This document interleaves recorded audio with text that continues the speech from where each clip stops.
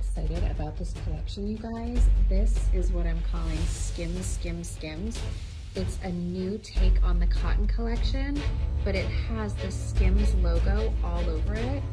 And we have the thermal leggings, which are amazing. And I'm doing this amazing nude color because I just love pajamas in really good colors.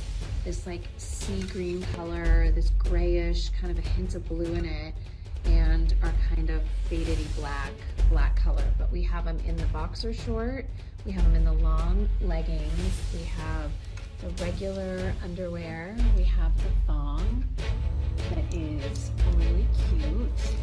And we have a t-shirt. So my favorite look, honestly, I can't wait for you guys to see this campaign because when it gets um, tight, like you'll see the skims like all over it. The little pointelle, like the little holes.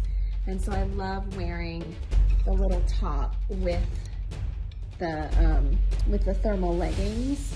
This is like the cotton collection, not as stretchy as the like pajama cotton, but this is just like our original cotton collection. The tanks are amazing. We have a little crop tank. We have this bralette, and then we have like more of a regular bra. It's so cute with the little rosette.